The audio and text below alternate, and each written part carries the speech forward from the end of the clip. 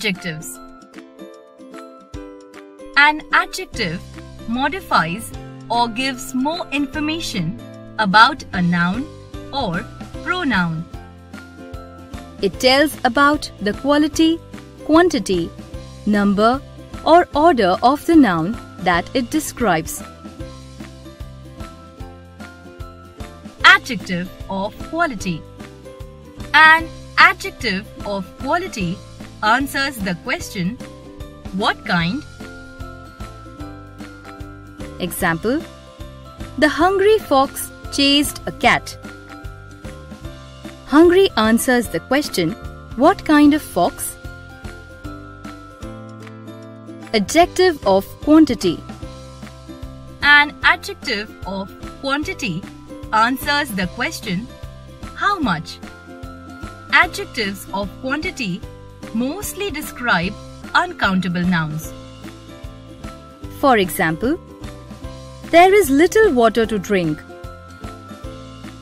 Little answers the question, how much water? Adjective of number. An adjective of number answers the question or questions, how many? For example, I will be absent for six days. Six answers the question, how many days? Adjective of number also answers the question, in what order? For example, I stood in the third row. All cardinal and ordinal numbers are adjectives.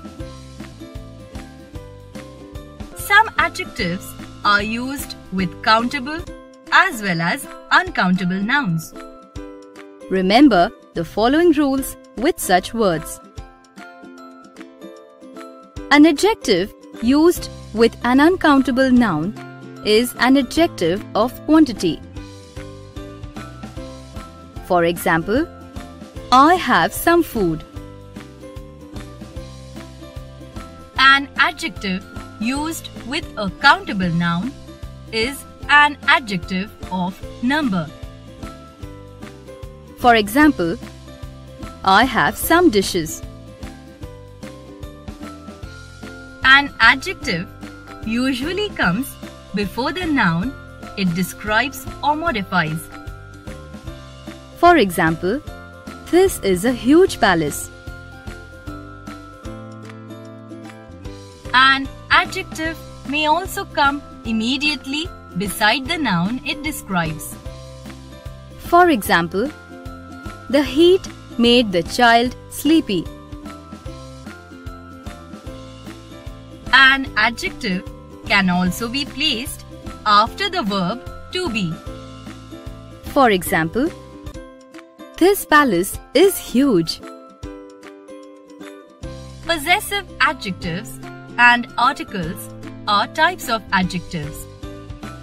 They come before a noun or another adjective. For example, I have a car. Here, a is used as an article. Where is your car?